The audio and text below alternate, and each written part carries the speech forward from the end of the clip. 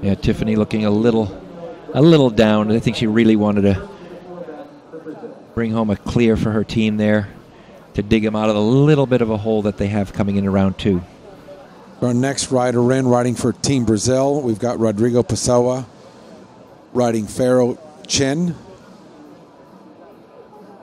Again, Rodrigo wanting to improve upon that first round, and here he is. This is the, the jump he had down. I think he's going to really get his horse straight to this jump.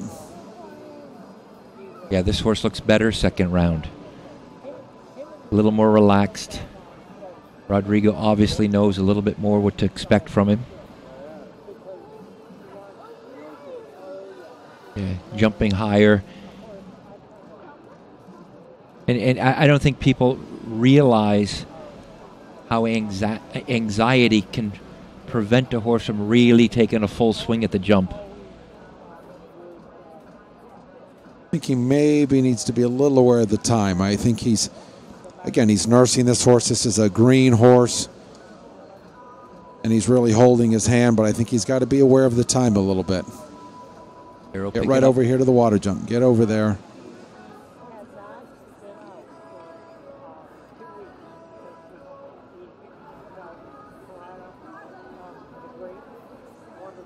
One more fence. And Rodrigo delivers, and that's where experience just